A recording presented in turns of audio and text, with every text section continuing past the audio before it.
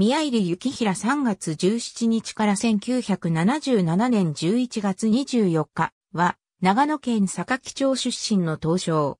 本名は、宮入健一。息子は、俳人の宮入清と東証の宮入恵。弟の宮入清宗、甥の宮入法広も東証である。戦国武将の村上の力の故郷であり、東証の町として知られる坂町で祖父の代からの鍛冶屋を家業としていた。東証を志して高等小学校卒業後、1937年に上京し、栗原彦三郎秋秀の日本刀鍛錬所に入所し、1940年日本東証協会展で文部大臣賞を受賞。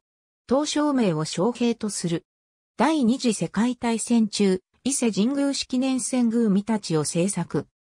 1945年に空襲を避け疎開帰郷、戦後は GHQ による作刀禁止期間を経て、1955年日本美術、刀剣保存協会の第1回美術審査会で特賞を受賞すると、以後5回連続で入賞した。1963年重要無形文化財保持者に認定される。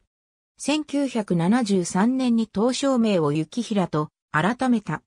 鎌倉時代の静剣士や同郷の山浦清丸の作刀を研究した。